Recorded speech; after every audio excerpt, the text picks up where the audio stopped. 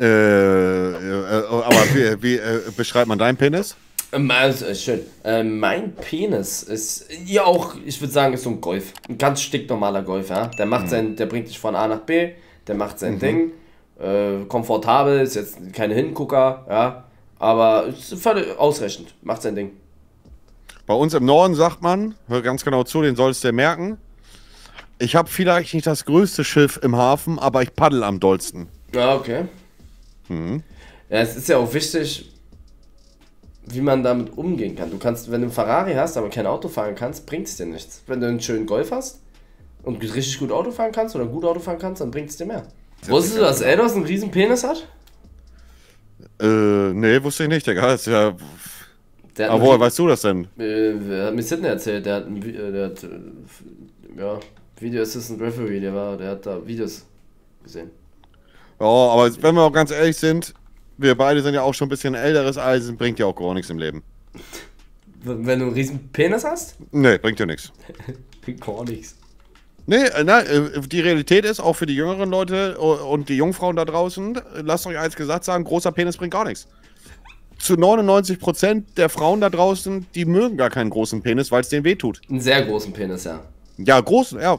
Also in den meisten Fällen, jetzt beispielsweise mein Freund Pferdepimmel Simon, so, der hat, äh, der hat zwar einen Schwengel wie ein Pferd, deswegen heißt er auch Pferdepimmel Simon, äh, aber der, äh, der bei fast, also bei keiner Frau kann er ihn bis zum Anschlag reinstecken. Und wenn du so einen riesen Schwengel hast, ist es ein absoluter Krampf, den auch knüppeldicke Haar zu bekommen, weil du so viel Blut in diese riesen, äh, in diesen riesen äh, Arm reinpressen musst. Das äh, funktioniert gar nicht richtig. Das Ding kriegst du nie richtig komplett hart. Ja. ja. Ähm, das stimmt aber. Also, das, das spreche ich nicht aus Erfahrung, aber ich habe auch schon öfter gehört, dass dann manche Leute, die jetzt einen Riesenpimmel haben, ne? Ich rede jetzt hier nicht von richtig so 17, 18, so einen großen Penis, halt ein großer Penis, ne? 17, 18, sondern von diesen übergroßen Pimmeln. Ja. Ähm, die haben dann echt Erektionsprobleme teilweise. Ja, äh, Diggi, da muss ja auch gefühlt drei Liter Blut in den Schwanz reingepumpt werden, dass das Ding mal steht. Sehr schön. Also ich sage euch so, wie es ist, Chat, äh, das äh, ist natürlich auch nicht das, was ihr vorgelebt bekommen, äh, bekommt. So in Pornos und so sind ja immer die Schwänze besonders groß, dass da jetzt speziell für gecastet wird und ähnliches, äh, sei mal dahingestellt. Aber die Realität ist, ein durchschnittlicher Penis, der aber weiß, was er macht mit einer guten Technik, langt den Frauen allemal. Ja, Das ist einfach so, Und man Digga. muss dazu sagen, man kann auch viel rausholen mit äh, dem äh, mit anderen Körperteilen, nicht nur mit dem Penis. Also falls Ja. ihr dann vielleicht einen sehr kleinen Penis habt und Hm. so extrem klein halt, ne, dann kann man auch mit anderen Sachen was machen. Auch mal die Faust reinhauen, sage ich. Ja, auch gut. Auch gut.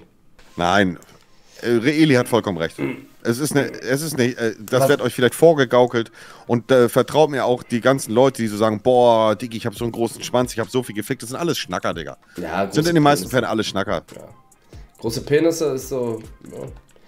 Ähm, Jemand, der mit seinem großen Penis flext, hat meistens keinen großen Penis. Ja. Was sagst du so zu Durchhaltevermögen? Was sagst du, ist da eine gute Zeit, wenn du jetzt eine Zahl sagen müsstest und jetzt nicht diese Standard, ja, nur so gut wie es läuft. Also so, eine gute eine gute Zeit für einen Akt. Also reden wir vom reinen Geschlechtsverkehr oder reden In-game. wir. In-game. Also Okay, nicht in-game? hier, ja, In-game-Zeit. Der- Okay, also ich würde jetzt sagen, äh, eine gute Ingame-Zeit. Äh, lass mich mal kurz überlegen. Also ich würde sagen, eine gute Ingame-Zeit ist zwischen 7,5 und 12,5 Minuten. Ja, top. 12,5 ist schon viel. Aber ja, fühle ich. Ja, am Ende, am Ende, äh, am Ende äh, ist es auch so, Digga, die Leute, die dir erzählen, oh, ich habe die ganze Nacht durchgefickt, keine Frau hat Bock, f- äh, drei Stunden in ihre Vagina gevögelt zu werden. Da hat keine Frau Lust zu. Und ich sage euch auch nochmal, äh, ich sag, Digga, wenn ich es richtig geil finde, dann würde ich niemals die ganze Nacht äh, bumsen können. Das wird gar nicht gehen. Digga, also wenn du die richtig attraktiv, da, da spritzt du doch früher ab. Äh, Was ist das? Die Ja. ganze Nacht. Das geht doch gar nicht.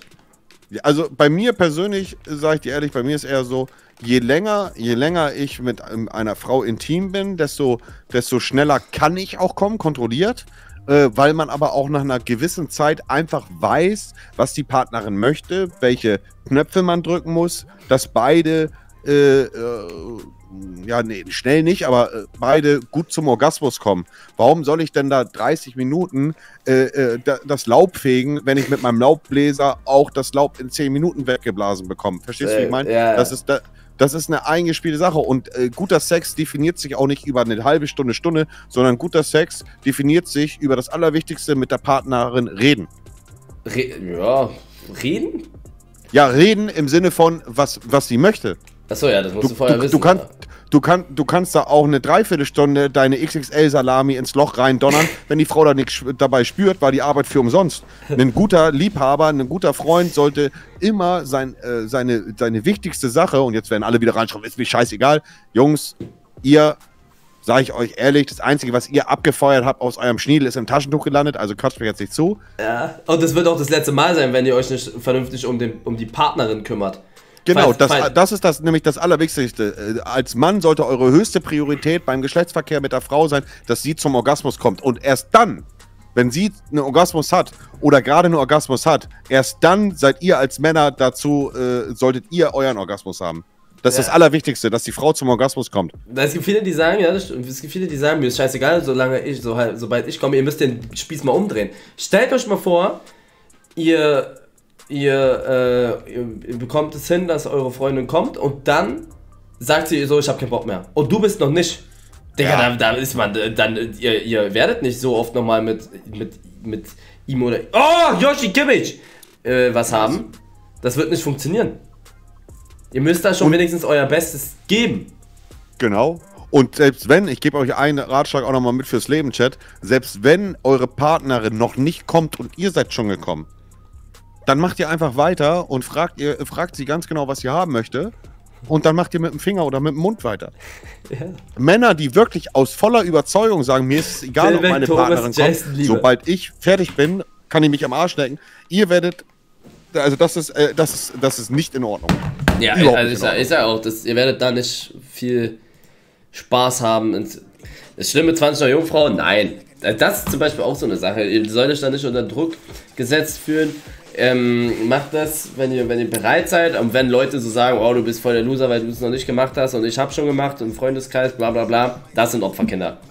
Das sind auch richtige Schwätze. Ja, ja. Was ich euch überhaupt nicht empfehle, was ich, setzt, lasst euch nicht unter Druck gesetzt fühlen und dann irgendwie im Puff euer erstes Mal oder so. Das, weil ihr, das ist es nicht. Das ist es nicht. Erstes Mal im Puff, weil man vielleicht unter Druck gesetzt wurde von seinen Freunden, das ist gar nicht cool. Das ist das Schlimmste, was man machen kann. Ja. Bordell sein erstes Mal. Ja, Mann. Das ist das Allerschlimmste, was ihr machen könnt, mm. äh, dass ihr euer erstes Mal im Puff habt. Ich sag, Eli hat da äh, Fakten gerade gespittet.